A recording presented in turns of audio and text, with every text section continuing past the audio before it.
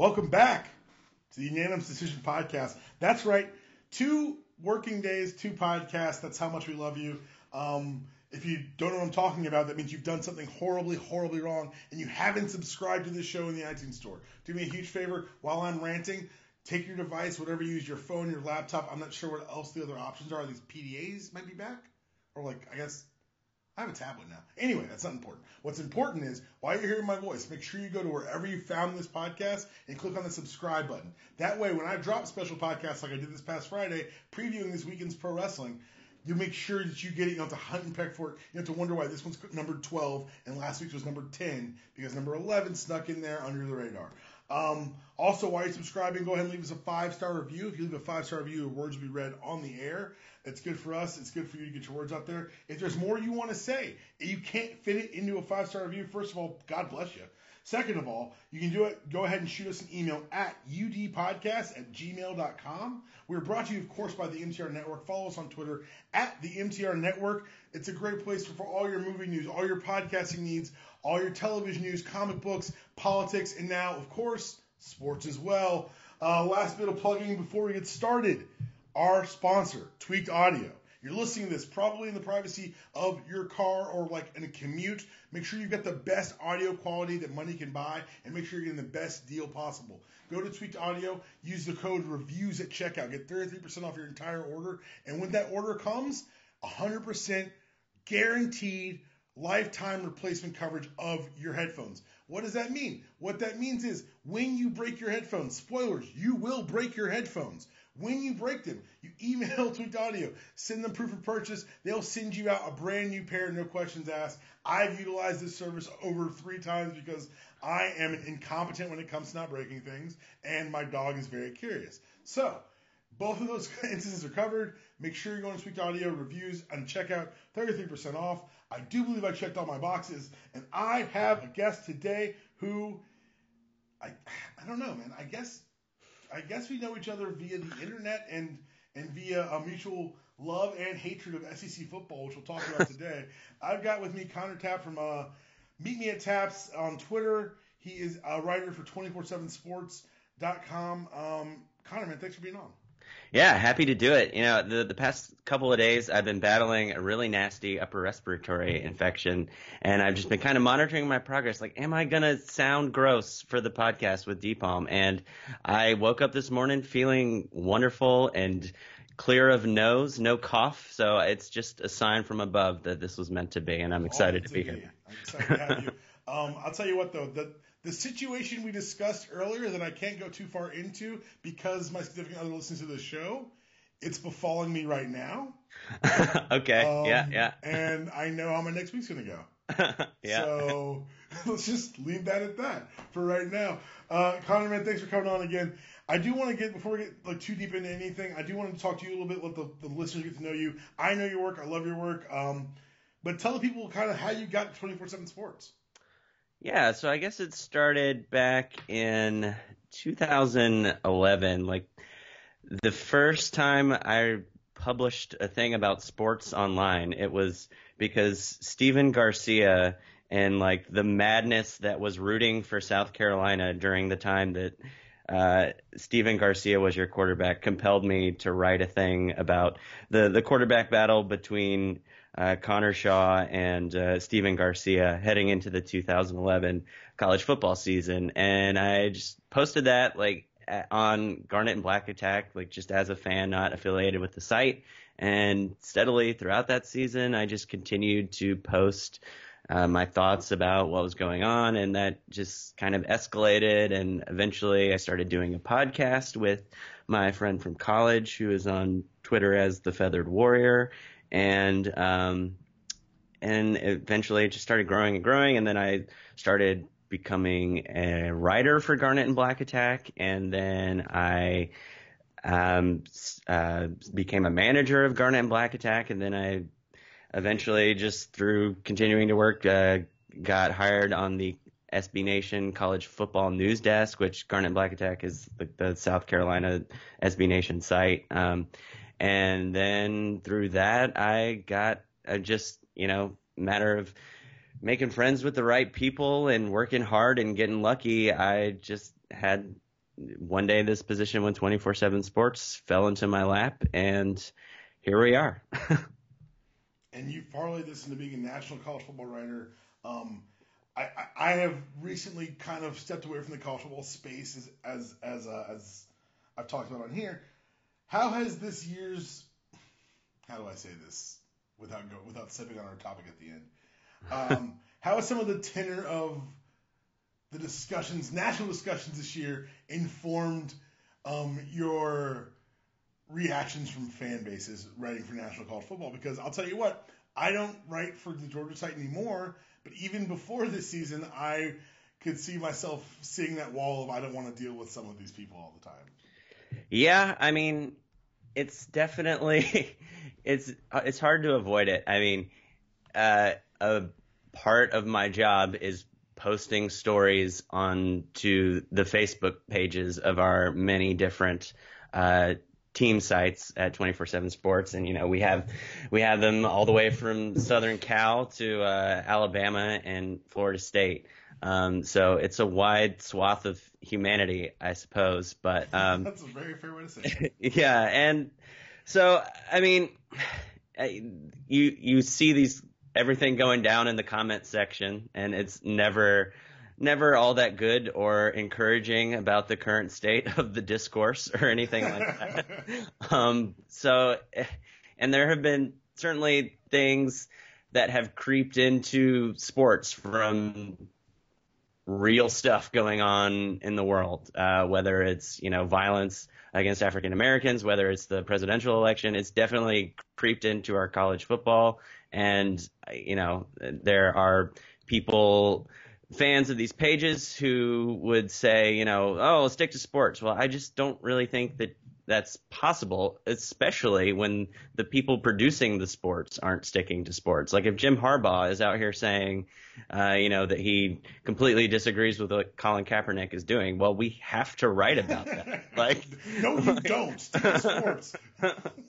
like the sports are now talking about politics. Like I, I'm a person who believes that they are you know, they are completely inseparable. But even if you are a person who says, you know, oh, well, you know, I come to sports for a distraction. And certainly I understand that to a degree, but the, still people playing the game and um, like people who are affected by things going on in the broader world. So I just don't really think that you can separate them. And so it's definitely been interesting, like having a punch to your gut every time you post a story and then you see the first like the top liked comment of every story is just something god awful and it's it, it's depressing. And i i took i really and i don't want to get too close to what we're going to talk about later but i i took a I didn't plan to take a week off uh, last weekend, the weekend with all the big upsets after a certain something happened on the previous Tuesday, but I I just had that planned and boy, did I need that because it, it, got to a point where it was just so difficult to even concentrate on football at that. 100%. yeah. 100%. I think it's I think it's really interesting that you you you hit the nail on the head there. The stick to sports guy. Sports aren't sticking to sports, so why in the world would we pretend to? And mm. it feels disingenuous. It feels like we're lying to people. And when people say, "Oh, you know, hey, that's the score," what else do you want to talk about? It's just it feels vacuous and empty, and particularly in like you said, the events of the couple Tuesdays ago, yeah. which we, we we we really just this is this is literally our escape from that, but it's good. It, it creeps everywhere. It, it is literally everywhere at this point. Um, I do want to talk to you because you are more plugged into this than I ever was. Like my involvement in recruiting was I was recruited. Uh huh. And I've never really, and, and, for me, it was I had two or three people who were older than me who had gone through the process. But even then, in so this was 2003, I guess, or 2002, the process was so different from them five years ago.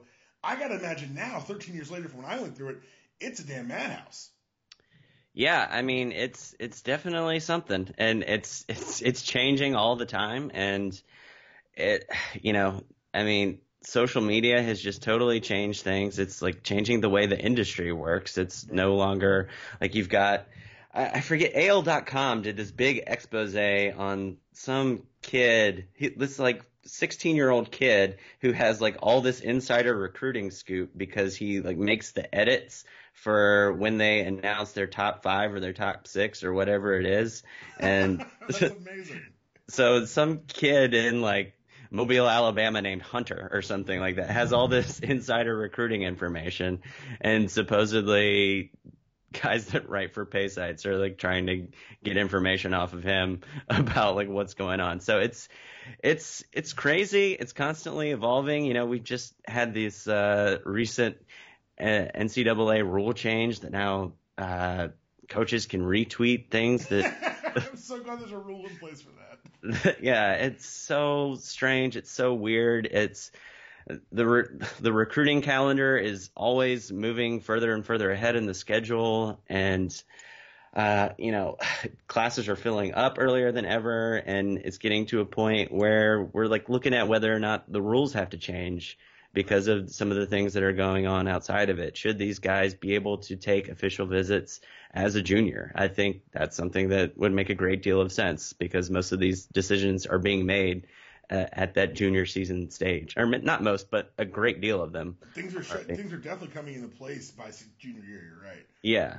Um, and you know, there's they're looking at whether a, an early signing period would be good or bad, and, and we're maybe headed toward that. And I feel conflicted about that. I, I, that's not something I've spent a lot of time thinking about the pros and cons of lately, but um, it's certainly something that basketball does. I could see why it would be good. I could see why it would be bad, and I'm almost always coming at this from a would it be good or bad for the players because you know uh, versus the coaches and the programs because they have they have they have more power and ability to do things than than they need like the Yeah. let's let's look after what's going on with the players and I could see how this would be uh you know I never had the uh good athletic uh, fortune to be uh, put in a position where I was being recruited by anything. The closest I ever would have come would have been, you know, the rough and tumble world of cross country. Um, Cut that recruiting, man. um, but uh, I can. I, I mean, I think about how dumb I was as a 17 year old and being put in this position, and man, uh, this would have been a lot of pressure, and I would have made such a bad decision. It would have been so bad. I remember the first coach I said no to, and I'll tell this story again. I think I'm having Felder on in a couple weeks because he and I were actually recruited in the same class at UNC. And we- we've done the math, and we were like, I was, he was, I guess UNC was third on my list. So I was literally like mm, two good decisions away from being Felder's teammate for four years, Uh-huh. which would have just been us, just hilarity, I do believe. Um, I do want to, before we get too far into anything else, this is something I've talked about with my friends who, who played and friends who play the state of collegiate recruiting. So since the recruiting market has become such a big thing, it's become literally its own its own million dollar industry within this million dollar industry. Do you think that with especially as we've seen, especially I guess in South Carolina even better, you've seen some of the coaching effects where a value of a coach is seen more on the kids they can bring in than the things they can do when they're there. And I think Yeah. the, the ability to balance recruiting and development of talent is a, something of a lost art in today's college football. Do you think that's accurate? Because I think that you're signing like Kirby Smart. The big thing when Kirby got brought to Georgia, and my stance on the Kirby thing is well documented. I'm not going to into it right now. but when he was brought, it was oh he can recruit his ass off. And I'm like, wait a second. Like I know he's a good coach. I know he can coach. Why is the first line of the hire he can recruit his ass off?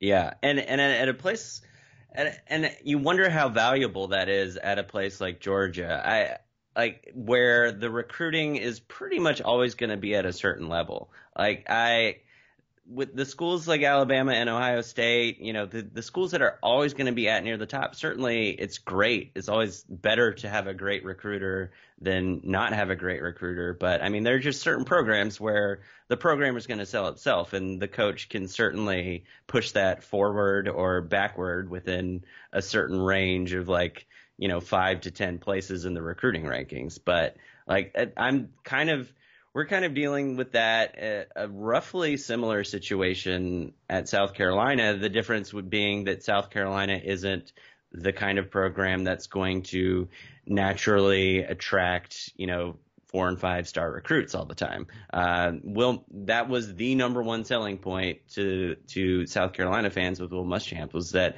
this this guy can come in and recruit. And um it, you you so it, it it's been a weird season for South Carolina in that regard. Certainly, the wins and loss column has far exceeded anyone's expectations. Um, at six, are looking like headed for six and six, uh, six and five right now. But it's like, okay, so you know that this upcoming football season is probably going to be bad, but recruiting, the thing that we're telling you is like the number one with a bullet thing that this guy is really good at. We're not going to get a full chance to see like a full recruiting class until the next until this February. So it's like, well, we just have to sit through this entire season of what the heck is this is really ugly, unattractive football. What's going on? Should we be in a shootout with Western Carolina and UMass? like, um, so it's it. Yeah, I mean it's it's definitely a balance, and you want the guy that can bring in the recruits. Uh, you know, the PJ Flecks of the world who can attract. Um, I, I don't. Need, I wanted to be able to say attract you to the city in uh, Michigan where Western Michigan is, but to be quite honest, I don't even know where that is. But um, um, like that, that's a nice thing to have. But then you know, once you're going head to head with Alabama, you know, for the SEC championship or the uh, the the college football playoff championship, like you've got the players that have got you to that point, but do you have the coaching acumen to have you know developed and like you know the X's and O's, um, what's the word uh, acumen to put the players in the position to win in those big moments and. I don't know. It's a balance. It seems like right now the marketplace is like sort of demanding these rah rah fire them up get the blood get the blood going guys like Dabo Swinney, Tom Herman, and like the X's and O's has taken a little bit of a backseat, or those guys are the X's and O's guys are going to places where you just kind of assume they're not going to be able to recruit, like Mike Leach at uh, Washington State, I guess would be the easiest example. Um, and it's like, well, you're not going to be able to recruit, but maybe they'll find some uh, players under underneath rocks in Hawaii or something, and you know they'll get him in, and in in in his air raid system they'll be able to do something. So, um, yeah, so uh, it seems like that's kind of like how the marketplace is sort of sending these people in various directions right now. Well, I know everyone listening thinking is, wow, DePalm brought on someone who knows a lot more about college football than he does. First of all, damn you for thinking that. Second of all, um, I'm not bringing him on. Some uh, he didn't murder me on Twitter this week, and I didn't invite him on the podcast to burn the hatchet. I'm not Bill Simmons. You know, no one canceled my show. Um, I don't have a show, but still, no one canceled it. Um, yeah, that was that, and we're gonna get into college football in a second. But I do want to talk about this. It's interesting that sports media has become kind of a thing that's covered now by other media, which is yeah. I don't know by like meta sports media. But in case you missed it, Bill Simmons, um, beloved uh, fan of the Patriots, tweeted out during the um, Pat Seahawks game, somebody needs to gently break the news to Collinsworth that, that the Pats have a weak front seven, and that's why Seattle's line looks good. And Chris Collinsworth retweeted him and said, "Thanks, Bill. We'll look forward to you gently breaking down that hit show of yours." And uh, there's really nothing to discuss. I just had to put the savagery on the podcast. Yeah, um, uh, Bill Simmons is always in need of a good roasting. He I've there's I don't know if there's ever been a person in sports media who I am such a big fan of the work he helps create and promote and such just I just don't it's not that I dislike him it's just I, I don't know maybe I do dislike him. He just grates on me so much with his belief that everything is viewed through this like Boston sports uh, being the little guy, like the right. like the underdog, and that's just like really it's not the case in so many ways. Yeah, ridiculous take. and I'm gonna go one further than you. I actually I like Simmons. I like his writing. I like the stuff he produces. Like the 30 for 30 series he brought to ESPN was brilliant. Um, I even enjoy his podcast because I think he's got a, a, a, compelling personality. I think he's one bad on TV. I just think he's yeah. bad on TV. I think he has the timing down or whatever the presence you need to be good on television, he didn't have it, and he hasn't cultivated it over the years. And two, his interviewing style sucks. Yeah, I mean, it, it, it definitely sucks in like the TV setting. It it just felt like, oh, we're doing a podcast on TV, and it's like, okay, well, that like that, like there are so many things in the so many things to watch. Like I just never really felt like, oh, I have to tune in to any given Wednesday. Like I just never had that feeling about that show when they're and in in a time where there are just so many things competing for your attention, it just seems like it always lacked that. But you know, the, the guy hires great writers to do great things, and I I'm absolutely loving The Ringer, and I I think I'm in the minority on this, or I've I've shared this opinion, and no one has yet to agree with me. But I think I like The Ringer a lot more than I ever liked Grantland, and so the there was some numbers came out about the ringer sort of concurrent with the cancellation of any given Wednesday that were like not very good from a traffic perspective. But I really hope uh, HBO and whatever investors are keeping that afloat continue to do so because I don't know. It's just there are just some things like wh- whether they make money or not, this needs to exist, and right. that that's how I feel about the Ringer. It's great. I think I think any given Wednesday is a good case of not everything's for everybody, and they wanted to bring in someone who could be the third voice for HBO with Maher and um, John Oliver, and they thought they had found it in Simmons and they hadn't. But what they did do is probably stumbled across a content creator who's probably unrivaled. Yeah. So I think they're going to get their money's worth one way or the other. And I think that because of that investment, because of that ROI that we can expect, I think that the ringer is safe. I'll be the first to say I don't read as much ringer as I did Grantland, and I probably should give it more of a chance. It just feels like every other story is like a what if this happened? Like I don't care about your fake that. I don't. I don't. I don't give a shit. It's like your fantasy football team. I will not care. I won't. I, I, you can't make me. All right, so let's actually talk about the things we're here to talk about today, and that's SEC football. National games. There were national games. There were big national games. Louisville lost. Columbia won, and uh, you gotta you look. We don't win often.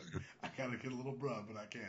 Um, but we're gonna stay in the SEC today. Uh, on Saturday, Georgia knocked off Louisiana Lafayette in a game that, look, 35-21 against Louisiana Lafayette in a vacuum isn't good watching it wasn't good. Um, but if we're going to wear black jerseys and we're going to get a win, I'm not going to say too much negative about it. We did not lead. Georgia did not lead the uh, offensive categories, passing, rushing, or receiving. To tell you how that game was to watch. Um, yeah, that's all I got to say about that. Chattanooga got boat raced by Bama. Who, uh, look, Nick Saban, I get it. You're the coach. You got to be tough and hard, and you're only up 14 to three at the half. Relax. Like, just stop. just stop. Some of us are excited about a 35-21 win over Louisiana Lafayette, okay? You can't all be Bama, you jerk. Auburn beat up on A&M. Once again, Auburn fans, you're very welcome for ruining your season. Um, Florida in the, I guess the, the rematch from the, the, the rain saturated game earlier this year, held on to beat LSU 16 to 10, and it looks like Fournette got into like some sort of argument before the game with a defensive back coach from Florida. Yeah, I, I missed that. Um, I did, but then he like demanded to dress and then didn't do very well. Yeah, and it's it seemed like some situations where he like didn't really want to play, or I don't know. I, I, that's the commentary that I was reading from people on Twitter. I, I kind of came into that game late and sort of didn't get the full story of it, but it seemed like some I don't know some some issues uncharacteristic of what my understanding of Leonard Fournette is as a person came up during that. He wasn't. He wasn't going to play. He's hurt. He's got a still nursing a hurt ankle, I believe, or hurt foot. And I guess the shove got him fired up to play, which is a great narrative, hashtag narrative, but not usually like I'm hurt. Oh, that guy pushed me. I'm less hurt now. Usually doesn't go well. Yeah. The athlete who's been kind of goaded into like showing out, and and while you know, yes, there are. You know, I'm sure Fournette will be drafted just fine. I'm sure that his career hopefully will be very successful and very long in the NFL. I always get a little queasy when I hear like the injured college kid put the team on his back and didn't do. I'm like, what? we'll talk about it when we get to some stories out of Oklahoma, but it just feels a little vacuous. Maybe it's just me being the ultimate cynic. Uh, Tennessee just I don't Mizzou like what? Okay, sure. 63-37. If you bet the over, God bless you. Um, if you bet on college kids, stop it. I've told you every week. Don't do it anymore.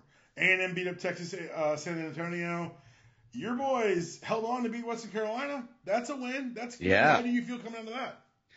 Um, not great. Uh, That's fair.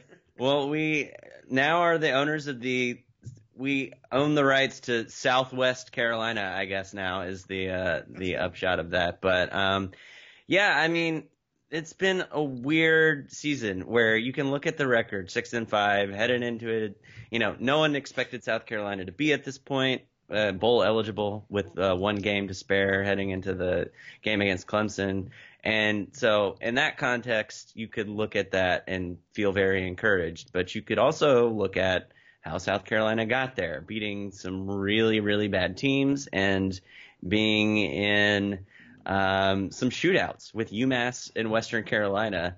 Um, and you could say, hmm, this is that's not good. Um, so, uh, you know, uh, the good news, at least, is that the offense, strangely, is looking pretty solid, with the exception of you know just having a really bad day at the office against Florida uh, last week. Um, ever since Jake Bentley has taken over as quarterback, the offense looked good. Truth, yeah, I mean, I that, that, I was real skeptical about taking the red shirt off of him, but man, he is throwing some absolute dimes out there, and I I've just I don't you know he's only five starts into his South Carolina career, and I've been watching South Carolina games for 20 odd years at this point, and I don't know that I've ever seen a quarterback in the garnet and black uniform that can throw the ball like he can.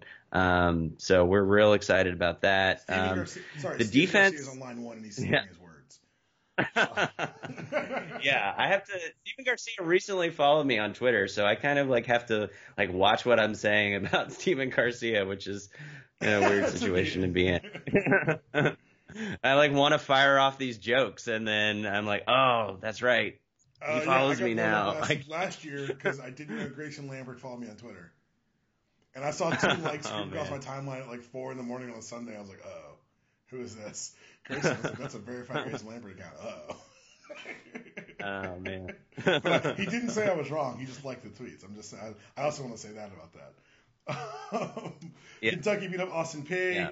Uh, Arkansas beat Mississippi State, and I don't know what the hell happened to Mississippi State, but I thought they'd be good. And Ole Miss, uh, look, Chad Kelly shouldn't be the thing that makes your team go, but I guess it wasn't Ole Miss. They lost to Vanderbilt on uh, Saturday. And uh, let's talk about. Um, so we've kind of talked about both of our seasons so far. Let's talk about the one season that you know we all kind of expected, but still makes us disgusted. Alabama's the Death Star, and I don't know what to do.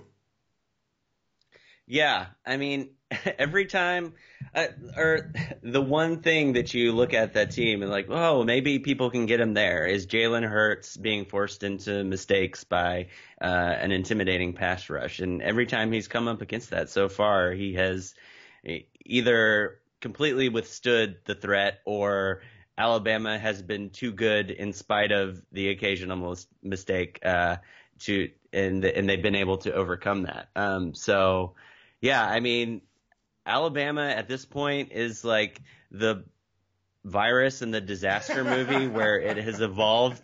It's evolved to the point that there is no known cure and they're like five to ten years from off from being able to make one.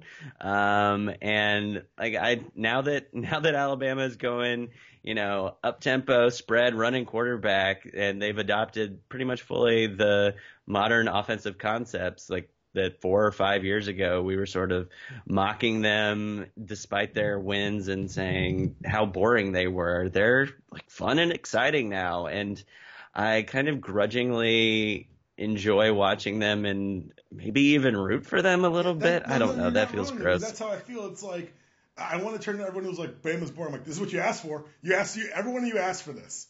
Every one of you called them boring. Yeah. Like, I don't really like to watch Bama play. They're good, but no, why watch? This is what this is what you've done to the rest of the world. Congratulations. I hope you sleep really easy yeah. because you're right. I don't see a solution because I said this on the show a couple weeks ago. The best job placement program is linebacker and defensive back in Alabama. Come on, son, you're going to sit for three years, yep. and you're going to be a millionaire. You don't ask why, you don't ask how, you just do it, and you are. And now they've added this dynamic because my thing was I'm not a huge. Um, spoilers, I don't like freshman quarterbacks. They worry me. They're 18 and they're 18. Like I, am sorry, they just are. I the all season I'm waiting for Jalen Hurts to have that, that game that every freshman has. That people say that Dak's gonna have in, as a rookie for the Cowboys. At some point, the wheels have to come off. You've got to be a freshman again. Jacob Eason has it happen like four times a game. it doesn't feel like Hurts is a freshman. He just every time, like you're right, every time they throw something new, an exotic blitz or or, or, or matchup option to outside, or they're gonna take away contain. He's just like, all right, well, Coach Coach Saban has programmed me on how to evade this new problem, and we've already we've already calculated how to defeat you. And all of a sudden you're down 30, and you're like, wait, wait, wait, why am I bleeding? Wait, wait, wait, why is it so cold? Yeah, yeah, and it's like Alabama's success it seems like it is completely destroying the Southeastern Conference. It's like, like it, it's as Alabama gets better, the rest of the conference gets worse as they like stumble and fail to try to figure out how to solve Alabama. Like you've got teams. I think the absolute dumbest thing you can do is to try to be Alabama, I'm which sorry, is I'm what sorry, Kirby it, Smart now online too. Sorry, I don't know. Who keeps getting these numbers? um, and so I, I, like you look at Florida and South Carolina and Georgia, and they've they've put it seems like they've put their money behind thinking that they can out Alabama, Alabama, and the you know, the SEC East right now is probably as bad as it's ever been. Um, and, you know, I don't know. I guess the West is at least trying some more interesting ways to try to beat Alabama, but it's not working. And I don't know. I mean, I'm I'm for the first time in a long time, you're looking at the SEC and some of the other conferences, and I'm just like, man, I where does the SEC stand? I don't think it's the clear best conference anymore. It might not even be the Yeah, second best conference right now. Like we got that Bama Trump, like, oh, our conference about like Bama Trump, bitch. Like, what do you want from me? Like, it's so funny because I was talking with a friend. I think that Nick Saban's greatest testament to the testament to his greatness is you look at all the other tenured coaches who were there when Saban got there, and he's run them all out of town. You're done in this Yeah. town. You're Yeah. done in this city. You'll never coach again. I'm convinced he's got Luke Miles's or uh, Les Miles's hat stapled to the to the wall of his office. He's like, that's his Oh, final. man, thought. Like, that's- I did it. I did it. I ruined. You it. thought you could you thought you could replace me? Les No. Miles. He didn't even ruin Les Miles. They won ten games a year. Just against Bama, it's not enough, and it's nothing's enough. It's just there's some sort of Death Star steamroller that honestly, it's it, like you said. I watch them and I cheer for them begrudgingly because I just like good football, and they are good football personified. Like they're walking good football, and I, I don't see a way that Florida could even make the game in the dome entertaining. No, no. I mean, uh, the only hope is that, you know, the theme we've touched on a couple times already is that this is 18, 19, 20 year olds playing this game and maybe, maybe you get the absolute low end of Alabama's potential performance on that day. But even then, like, I don't. I don't I don't know where the points come from for Florida in that situation, but Yeah, I'd like. Yeah, I'd like I mean, it's gonna be- my gambling advice. Yeah, there's nothing less reliable than 18 to 22 year old American men, except if they go to Bama. Yeah. Apparently, like I, I don't know what to say Yeah. anymore. It's getting absurd. I think the next way the West should try to stop them is just botulism. Let's just, let's just nothing Yeah. like life threatening, but like I want to lay these kids up for like three or four days and see how they play then. yeah, yeah. I I mean they they'd still beat It's Kentucky, Like playing, it's like I playing think. uh, NBA Jam and putting in codes that hurt your team. Like I just want to see how good I am. yeah, yeah, yeah. I, I think yeah, they they that team would still win the East. oh, look, we're not dealing with the East anymore. The East is like the East. Call me in Yeah. three years, East. Like we'll we'll talk then. Right now, uh, East isn't real. But let's talk about other things that are real, and that's coaching hot seats. Because I think they're going to keep Gus in Auburn. Like it felt like the beginning of this year was like, oh, okay, this is that last year, and then he pulled just absolute rabbits out of his ass, and now I'm like, I don't know, like if they get blown out by Bama, do you even have grounds to have the meeting? I don't know. LSU, we can agree Coach O's not staying, right? Yeah, I think so. I keep Coach I, O, I think the going into the the West is going to be very happy. yeah, I I feel I kind of feel like people turned on him pretty quickly Especially 'cause they've uh, after that. yeah. Um, I mean, you know, it, it seemed like there initially there was some enthusiasms, like, oh yeah, Coach O, we got the the Cajun coaching at LSU. This is going to be fun and awesome and exciting. And then like the moment they it became clear that they were just going to absolutely lay an egg against Florida, um, it's like, yeah, this this would have been a mistake. Glad glad y'all didn't like get drunk on moonshine and give Coach O a five year contract and get bogged down in that. The, um, the so. It was Coach O provided moonshine. Um, he brought it from his home stash. So I think Coach O's gone there. I think, dog. I think Butch Davis beat Florida and Georgia and is about to lose his job.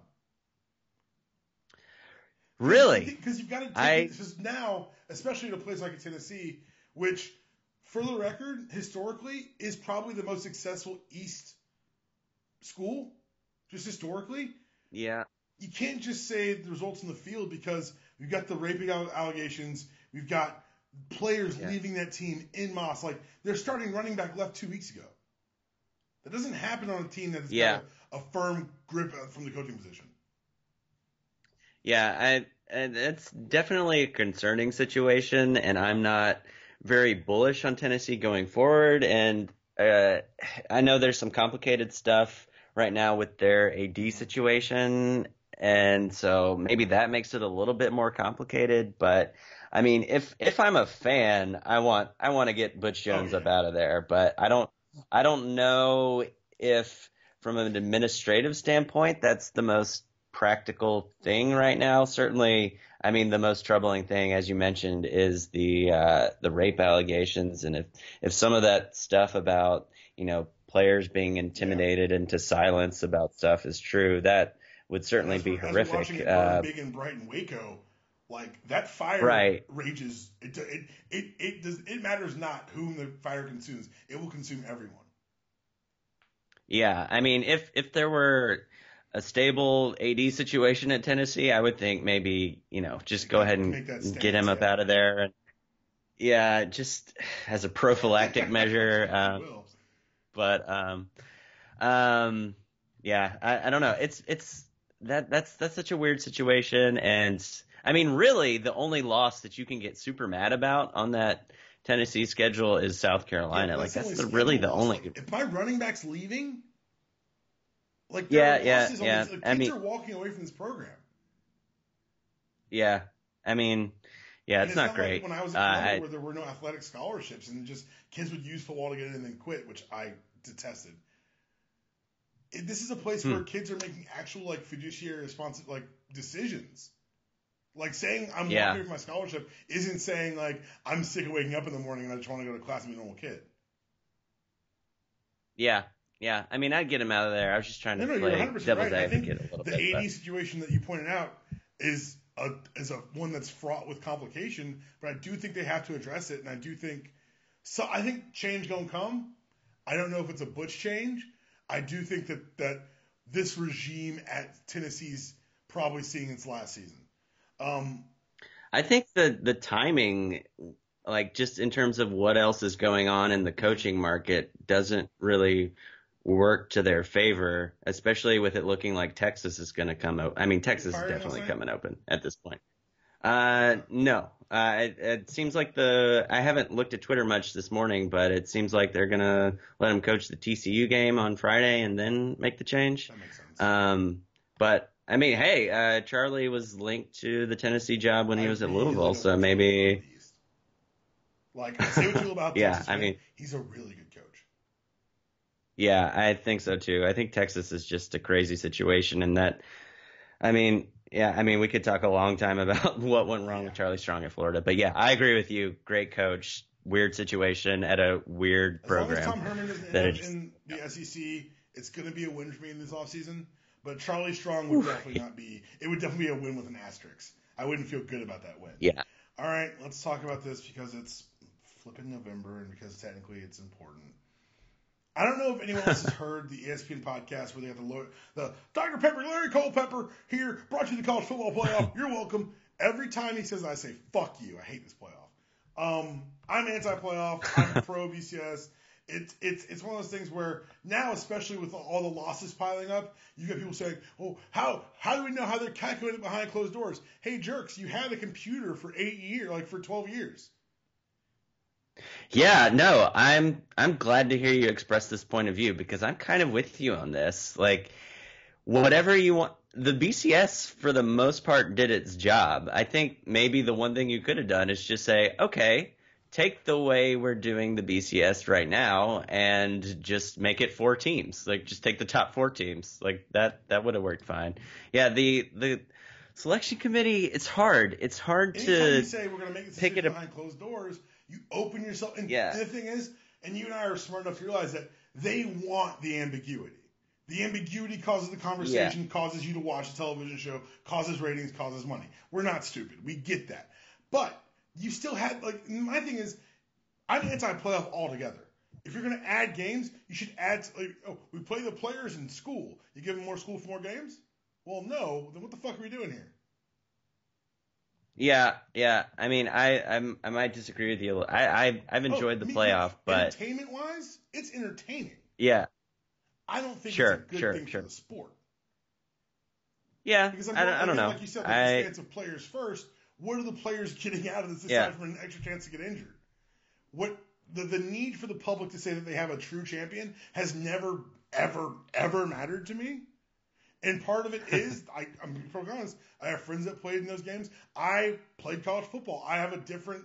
I'll admit that I have a different lens with which I approach it than most people because I can't. Uh-huh. I can't divorce the inherent inequity of the sport with people telling me, "Well, now we got a true champion." I'm like, well, "Screw you, man! Like these kids are getting concussions, Yeah. Collecting concussions." I told the story on the show a couple weeks ago where I had to I lied in my opening um my opening physical at Columbia because they were like, "How many stingers have you had?" And I laughed and said, "What do you mean a game?" And they the look on their faces told me that was a very wrong answer. So I told them that I had four in you know college in high school football. Meanwhile, I was taking handfuls of Aleve before games. Oh man, yeah, it's definitely a situation where if you like look too closely and you like look behind the matrix, like everything Quick. falls apart, and you're like, oh no, let's just cancel this entire sport. It's bad. Um, but um, yeah, I mean, especially with college football, I mean, there, there there's There's lots of problems with it. Sure, but But um, yeah, you're right. Now that we haven't yeah. called it the playoff, I, I've stopped railing against it as loudly. I will probably, if you're listening to the show, in the show notes, I'll link to two pieces I wrote for Dude You Crazy a couple years ago, advocating and explaining why the BCS is better than the playoff and all this stuff. I'll link them in the show notes. But I do want to talk about the four teams that looks like it might shake out to be the people who have the best control. One is Bama. Bama's in. Bama could probably, I don't even, Bama could lose to Auburn and then like squeak past Florida and still get in. Yeah, I mean, as much as I, you know, we have uh, our reservations about the playoff, I think one of the good things, the one of the good things that the selection committee has done is not just these arbitrary punishments for teams that lose season, lose games late in the season compared to early in the season.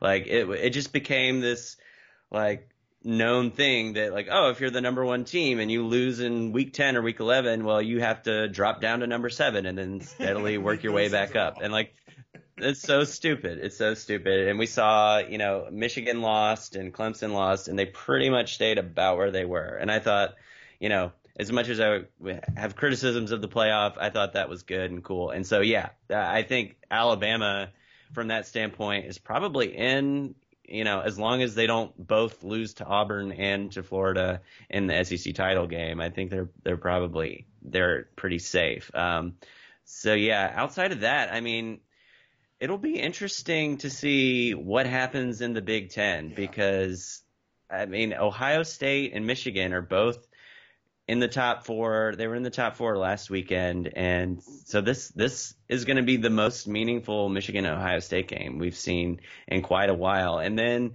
depending on what happens in that game, does maybe Penn State, maybe maybe Ohio State wins, and then Penn State. By virtue of the head-to-head tiebreaker with Ohio State, gets into the gets into the uh, Big Ten championship game, and then maybe we've got two Big Ten teams in the That college sounds- football that- playoff, which would that'd be pretty wild. I, I don't see it happening only because I think even a one-loss Ohio State team over, will be taken over whoever wins the Big Ten. Let's say Penn State won it out and, and, and won the Big Ten. I think Ohio State would still get the still get the nod ahead of them, just overall record. Okay. And then I think that, that that's where things get complicated because I think that a one loss Ohio State team would probably be seated ahead of a one loss Washington team, who's going to win the Pac-12 barring earthquake. Yep. And um, the question becomes now, what, who's that fourth team? I've heard people try to make the, the Big 12 case, which I've ignored because there aren't 12 teams. And I think we're back at Clemson. Um, With what yeah. happened to Louisville on Friday. Wait, well, yeah, yeah, yeah. Clemson. Oh, I missed the what you said before. What did you say about them before? Oh, I just Clemson? think I think that um, there's not going to be someone from the Big 12. I think Washington's going to get in from the Pac-12, and then I think it just leaves oh, us yeah. with like and not saying they're an also ran or like an afterthought, but it feels that way. It feels like this is a year where there are three teams.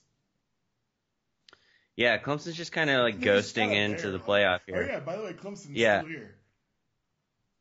Yeah, um, I mean they. It's been a while since they've had. I mean, I guess apart from the um, the upset at the hands of Pitt, uh, they haven't had like that marquee primetime game since I guess the Florida State game. Yeah, um, win looks worse than so it it's yeah. Um, and so I mean they just haven't been at the fore of our consciousness very much this season. Um, but yeah, they're just quietly just sort of there. Um, they're probably going the entire ACC Coastal is just like really limping towards the finish line. So it seems and you know, this has been a Clemson team that's been pretty inconsistent this season, so you never know. But it sort of seems like they're going to wax whoever it is they end up playing uh, in the ACC championship game. But um, yeah, they're just kind of there. I'm um, underwhelmed by Deshaun Watson. I'm sure that being in state, you've watched him a bit more closely than I have.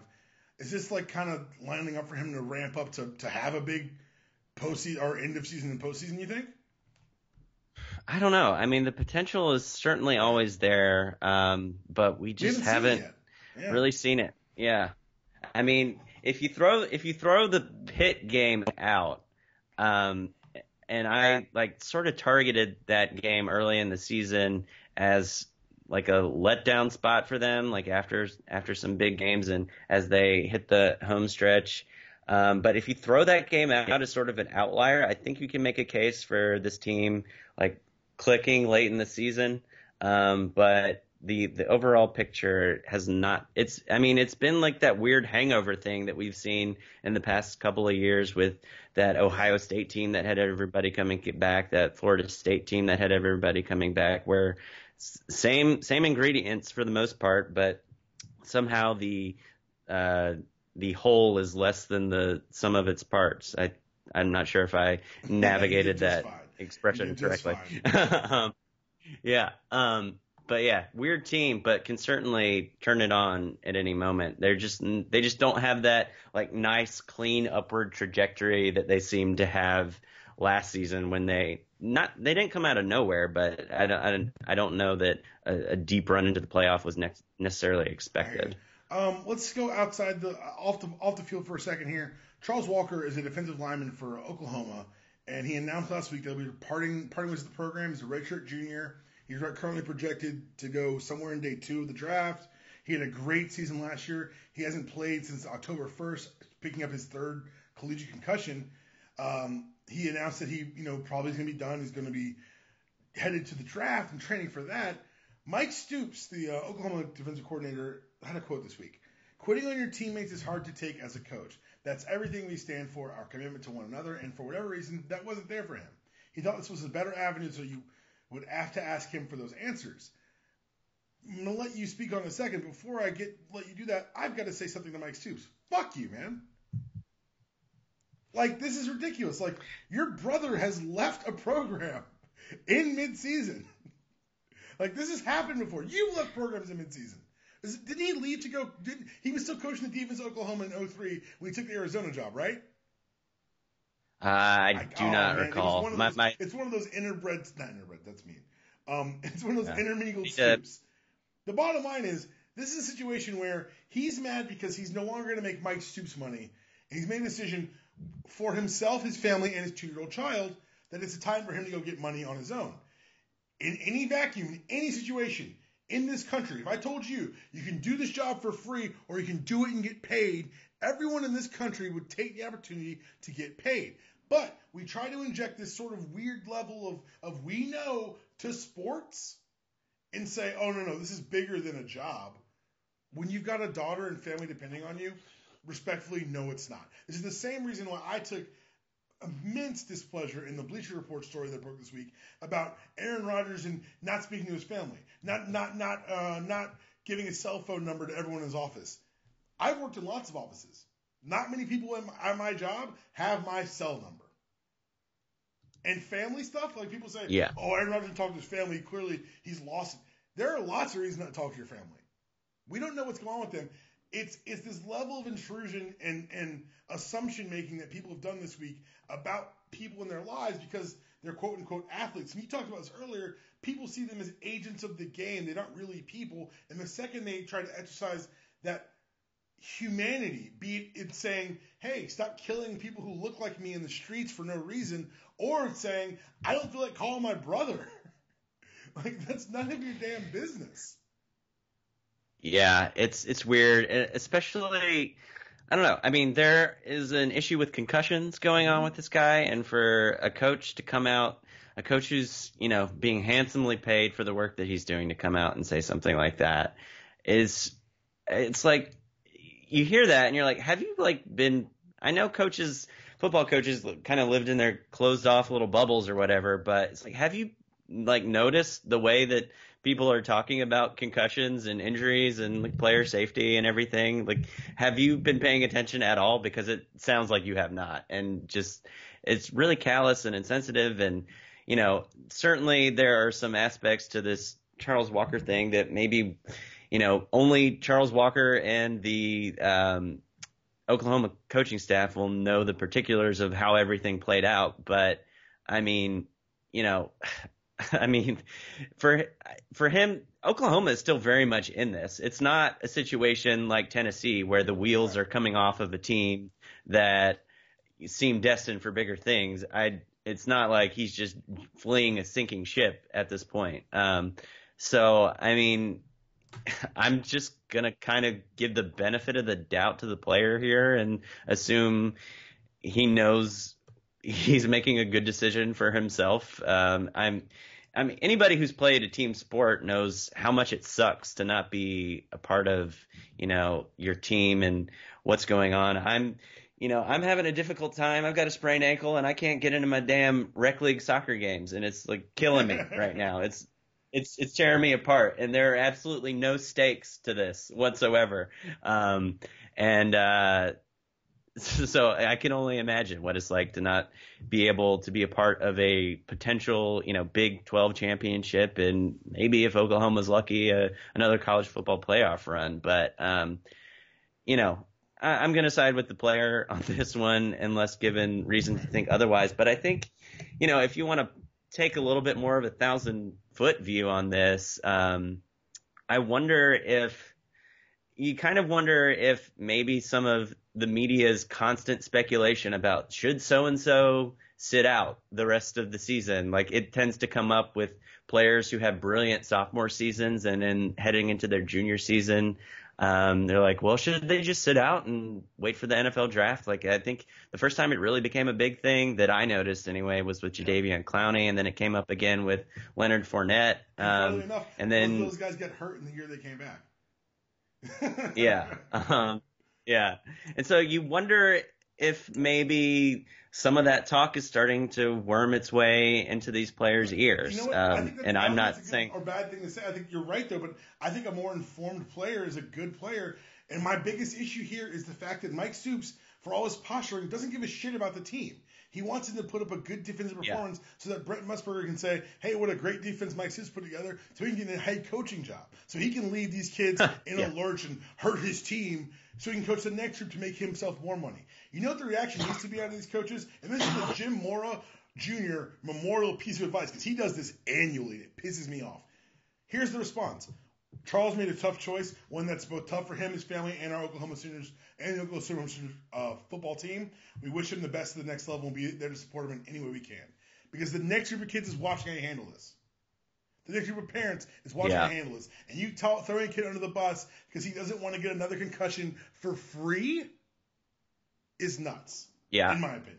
Yeah, and and Stoops might be, you know, like trying to save his job a little bit here. Um, I mean, that that Oklahoma defense, uh, with the exception of the first half against West Virginia on Saturday night, has been the scapegoat for this team this year, and people have been wondering if if there's a diplomatic way to get him up out of there with his brother coaching the team. So, um, you know, kind of a self-serving position for him to take a little bit. All right, man. I know you've got to go soon. You still there? Okay, cool. I'm here. I know you're gonna go soon, so we're gonna go. We're gonna. I don't know if we should even touch this topic or should just save it for next show. I'll probably just save it for next show just because I think it's easier that way. Um, let's have a little fun before we get out of here. I've got to ask you. So someone. So this is a. I have a friend a South Carolina fan who's making some less than wise bets about our two quarterbacks. He says that over the next four to three, three to four years, your quarterback win more than Jacob Eason. Do you think this is a fair bet, a foul bet, or um, a bet that I should just, you know, let my friend feel this little pride and keep moving? Um, did you say would win more? More wins, more wins in games started over the next three to four years than Jacob Eason. Man, I don't know about. See, now when you're talking about wins, that's a little bit different than saying who's the better that's what, quarterback. That's what I was like. Um, like either he knows something I don't, or it feels like an easy yeah. Um, see, I think Georgia, man, I and so like part of this is you're kind of weighing in on how much of a success you think Kirby Smart will be, which is like a whole nother question, really. Um, but I mean, I think what I've seen of Jake Bentley so far, and maybe I'm looking at this with garnet colored glasses, but I I've liked what I've seen from Jake Bentley a little bit more than what I've seen from Jacob Eason. Um, but I think Georgia will win more games while they're the quarterbacks at their respective schools. Um, I feel like historically that's the safe bet to make um, here, um, especially with the way Kirby Smart has been recruiting since he he got to Athens. So I, I would go with I would go with Eason to get more wins, um, but I think Bentley will be the better quarterback. Something to be said for the first time in history, the South Carolina quarterback being objectively better than the Georgia one. All right, um, Connor, man, thanks for coming on. Tell the people where they can find you and they can follow you on Twitter. Yeah, follow me on Twitter at meet me at Tapps and check us out at 247sports.com. Yeah, he's got um, he's really it's a fun follow, guys. Uh, watching him spar with some of the less enlightened SEC fans on uh, on the Twitter machines is always fun. Uh, I am DPalm. Find me on Twitter at DPalm66. You can follow the network at MTR Network. Follow the show at UDPod. If you're going to talk about the show on social media, media, use the hashtag UDPod so I can find you and shout you out on Wednesdays. Um, five star reviews, always helpful. Emails, udpodcast at gmail.com, always read and received and tried to be reacted to.